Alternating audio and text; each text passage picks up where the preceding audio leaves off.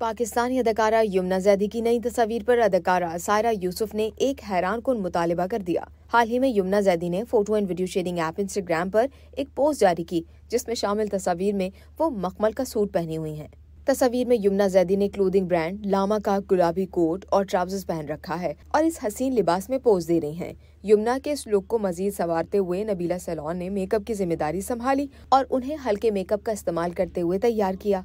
यमुना जैदी की इन तस्वीर पर उनके मद्दाहों समेत पाकिस्तान शोबिज इंडस्ट्री की कई मारूफ शख्सियात ने भी तारीफी कलमात पर मबनी कमेंट्स किए हैं। इन तमाम कमेंट्स में अदाकारा सायरा यूसुफ का कमेंट सबकी तवज्जो का मरकज बन गया, जिन्होंने लिखा कि मुझे ये सूट चाहिए।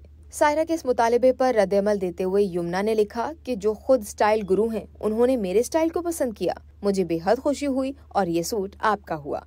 दोनों फनकाराओं के दरमियान मोहब्बत से भरपूर इस लेन देन को सोशल मीडिया सार्फिन की जानब से बेहद पसंद किया जा रहा है। यमुना के इस लुक को पसंद करने वालों में अदाकारा माया अली, नौशीन शाह हेरामानी भी शामिल हैं।